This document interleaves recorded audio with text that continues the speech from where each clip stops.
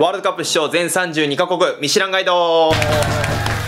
どうも、サッカーキングチャンネルのミッシーです。私、ミッシーがワールドカップに出場する全32カ国を1カ国ずつ説明していきます。今回はオーストラリア代表を紹介していきます。まずはオーストラリアの概要です。えー、オーストラリアの正式名称はオーストラリア連邦です。首都はシドニーと思われがちですが、キャンベラというところですね。面積はおよそ日本の20倍、人口はおよそ2400万人。公用語は英語です。そして通貨はオーストラリアドルを使用しています。次にオーストラリアの文化について紹介していきます。まずオーストラリアの国旗なんですけども、もともとイギリスの植民地だったという歴史もあるので左上には、ユニオンジャックイギリス連邦の国旗があります。そして7つに輝く大きな星。これは独立時の7つの州を表していて右側の小さな5つの星は南十字星を表しています。続いて民族なんですけどももともと植民地だったという歴史もあってヨーロッパ系の白人が8割以上。その他は、まあ、アジア人であったり先住民族のアボリジンなどがいます。世界遺産は、まあ、ウルルエアーズロックが一番有名ですよね。そして国技なんですけどもクリケットオージフットボールラグビーと、まあ、こちらオーストラリアの名前よく聞くスポーツですね。続いて食文化なんですけどもこちら、まあ、イギリスの料理でもあるんですがフィッシュチップス、まあ、オーストラリアの海に囲まれた国ですので魚が非常に美味しいと、えー、お酒はオーストラリアワインやビクトリアビター、えー、こちらビールの銘柄ですね。などが有名です、えー、オーストラリア出身の著名人なんですけどもクロウロンチャーサマンサタバサといった、まあ、日本の CM にも出ていますね。世界的モデルのミランダ・カーさんなどが著名人ですね。ここで30秒トリビアのコーナー。えー、オーストラリアの一番有名なお菓子、まあお土産なんかでもよくあるのが、ティムタムという、えー、洋菓子なんですけども、えー、まあこちらちょっと可愛らしい名前ですけども、ちょっと由来を、えー、紹介したいと思います。えー、ロス・アーノットという創業者の一人がですね、えー、1958年にアメリカに競馬を見に行きました。えー、その際に、えー、優勝した馬の名前がティムタムということで、えー、そこから由来になったそうです。えー、1963年からティムタム、えー、作られていて、今でも非常に人気で、えー、オーストラリア年間5億個が消費されているそうです。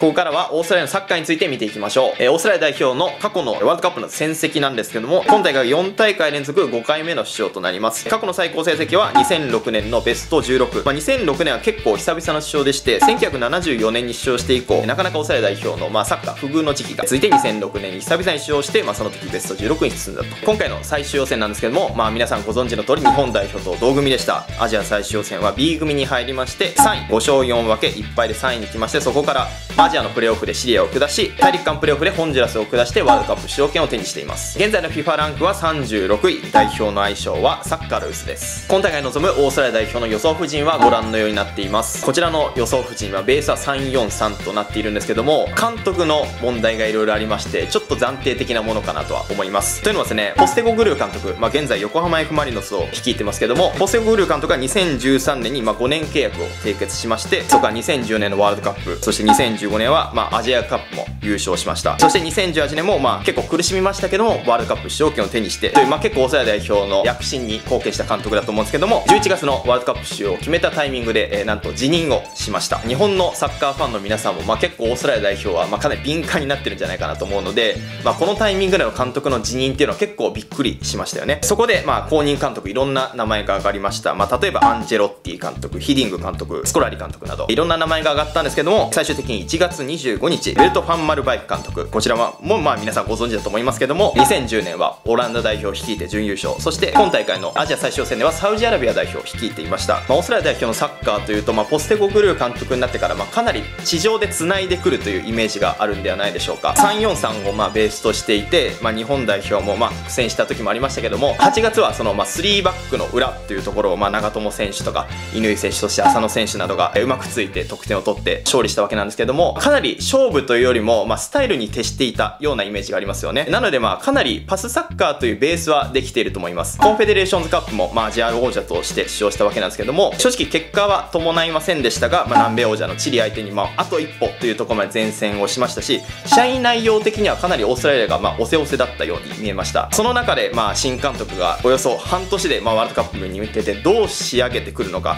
まあ、これはかなりちょっと予想しづらい部分もあると思います。そのファンマルバイク監督は、えー、今回5ヶ月の短期的な契約、まあ、ワールドカップまでという感じですよね。その中で監督のまあ特徴としては、まあ、選手のコントロール、まあ、組み合わせを非常に重視する監督。かつまあ結構個性をそれぞれ生かすためのまあ組み合わせだったり戦術を取る監督です。オーストラリア代表といえばもともとロングボールが主体となって、まあ、前線に結構高い選手もいたりしたので、まあ、そういうサッカー特徴的だったんですけどもポステゴグルー監督就任以降は、まあ、かなりパスサッカーに転じていて、まあ、スタイルの転換を図ったわけですね。その中でファンマルバイク監督、まあ、本当に残りの期間が少ないのでポステゴグルー監督のパスサッカーを引き継ぐのか、まあ、それともオーストラリアもともとの、まあ、伝統的なやり方を取り戻すのか、まあ、こちらどちらになるのかというのが一つ注目ポイントだと思います。先ほど見ていただいた予想布陣なんですけども、まあ、前線は、まあ、ムーイユリッチ、えー、そしてロギッチと3人並んでいますけども、まあ、ここに名前は載っていないんですけどもやはりケイヒルがオーストラリア代表にとって、まあ、最も点の取れる選手かなと思いますね。ここまでオーストラリア代表として104試合出場で50得点、まあ、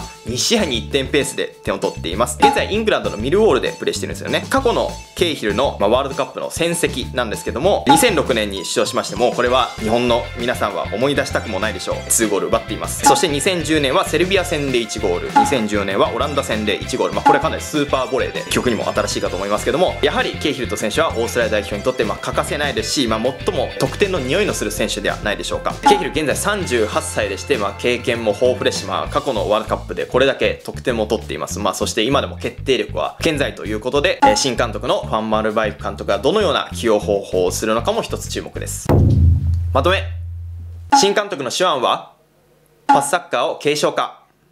ケイヒルの起用法に注目。以上をもとにミシュランガイドの評価を発表します。オーストラリア代表は星2つです。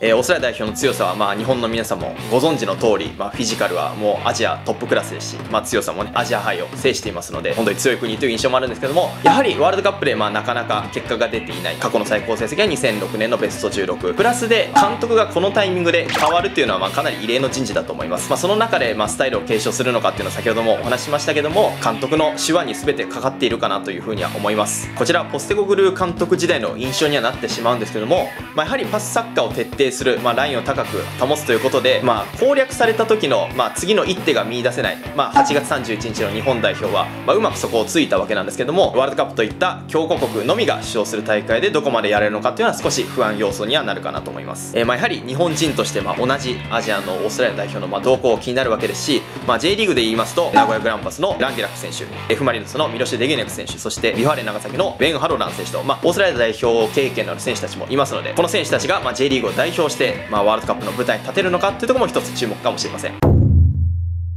ワールドカップ史上全32カ国ミシュランガイド今回はオーストラリア代表を紹介しましたが皆さんいかがだったでしょうか？